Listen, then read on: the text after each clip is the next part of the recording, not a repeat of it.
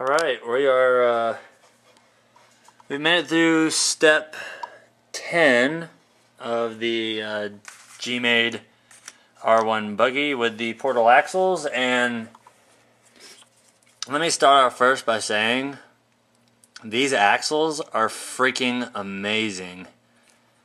Especially having the portal gears in them, giving you the extra ground clearance. There are six gears. Well, if you count the ring and pinion, there's six gears.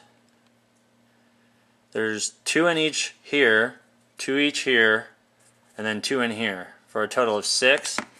And I've got to say, out of all the axles I've ever built, that is the smoothest turning assembly. I'm barely even rotating my hand, using barely any effort, and it is just gliding. And of course, we've gotten to the front, and no, that is not the servo that's staying on it. That is just for mock-up purposes. A 2075 does not have near enough power to turn the heavy duty suspension on this one. So that will be replaced with a high speed 208 ounce torque metal gear servo. But these things are absolutely freaking amazing. I cannot believe how high quality is. This is actual metal diff cover. It's a real chrome plated metal diff. Everything is all Phillips screw so far. It's no Allen head and it goes together extremely easily. So you can see since I've done the servo part, uh, it now goes into building the exo cage of the body. Which, yes, I'm going to paint that one too. That one's going to be a custom color as well. Uh, I've yet to figure out what it's going to be, but it will be a pretty cool color for a buggy. I've already got the orange one, I've got the green one. I've got to think of some other wild ass color to paint this one because unlike the last one, this one you actually put the whole chassis together before you assemble anything else into it, which is beautiful. So that means it's perfect for me because all I got to do is just build the uh, exo cage for it, prime it, paint it, let it sit and dry. Boom, ready to start throwing stuff like the transmission in, everything else. It just that makes it so much easier. And I believe after seeing, I mean, look how heavy duty these freaking rod links are in the ball ends they're actually steel ball ends, like Revo spec steel Traxxas ball end style. Oversized uh, rod ends, oversized rods. This is just ridiculously overbuilt, which I love.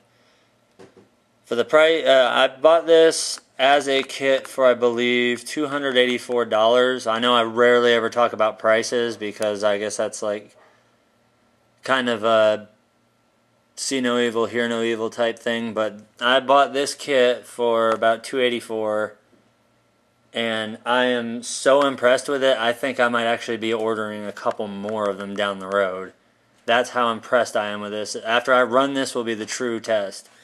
But so far everything has passed with flying colors and it's it, it's super heavy duty rosin built. I mean this thing is just, this is going to be a dominator on the trails. This thing I don't think is going to have any troubles on the TTC track or anything else I can throw at it. I'm still on the fence with these tires. I might... It depends on how the bead locks go together on them. I might mount up the tires before I do anything else to see how I like them on the black wheels.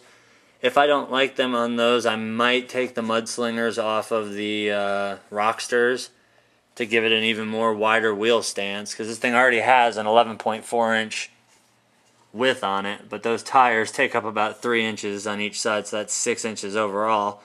We're to see where that sits but for the money I'm to try looking other places and if I can find one cheap enough I will definitely buy one and I highly so far this isn't my official saying, hey, you got to go get this. But so far, I out of all the models I've built, all my trucks, this by far has been the most sophisticated and the most thought out and best put together kit so far. I mean, number one, it just looks kick ass on the box, but I mean, just the overall quality of the build is superior to others. I've never seen something that had such a smooth gear engagement. But that's going to be part one of the build, and I'm going on to play some uh, Modern Warfare 3 on 360. Yeah. Uh, if any of the other guys out there play it, uh, my gamer tag is Chaotic Demons 84 with capital C, capital D, and instead of an S on Demons, there's a Z. So add me, and uh, if you want to play, and when you add me, send me if you send me a request, uh, say something like man cave or something, so I know who you are. Because if I, I get these, I get gamer friend requests all the time, and I have absolutely no freaking idea who the hell they are, so I turn them down. So make sure you put something like Man Cave in the description of it or whatever. That way I know who you are and you get added, and we can play together. Alright, guys, I'm out for now.